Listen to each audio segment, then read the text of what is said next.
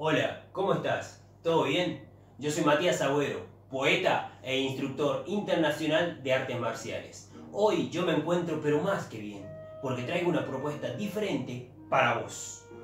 Estas vacaciones, alejate de las redes sociales y todo el mundo exterior y adentrate en el mundo de la lectura, donde los únicos protagonistas sean el libro y vos.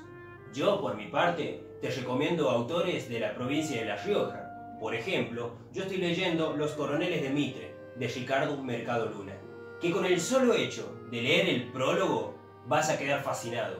Y te lo voy a leer para que veas que es cierto.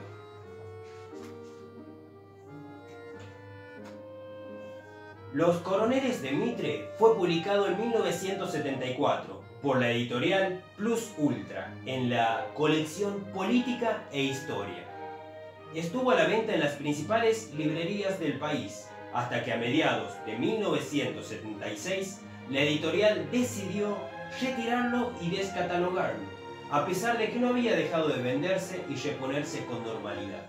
Para ese entonces, Ricardo Mercado Luna acababa de ser detenido, como tantos otros intelectuales de La Rioja. Lo aguardaban cárceles, traslados, atropellos y dolor. Eran tiempos de terrorismo de Estado, represión, desapariciones, muertes, de privación ilegítima de la libertad de las personas, lo que en el caso de Mercado Luna duró tres años y cien días de prisión, ocho meses de arresto domiciliario y nueve meses de libertad vigilada, como bien se encarga de computarlo en el epílogo.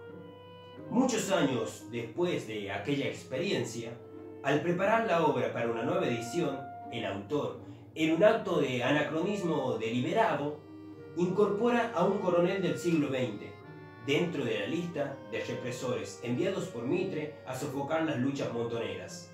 Un coronel de Videla y Cía, Malagamba, uno de los principales responsables de la represión ilegal en La Rioja, quien había considerado este libro como material peligroso y denigrante para la patria.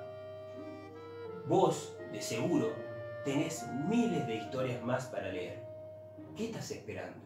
Estas vacaciones, hace algo diferente. Adentrate en la lectura.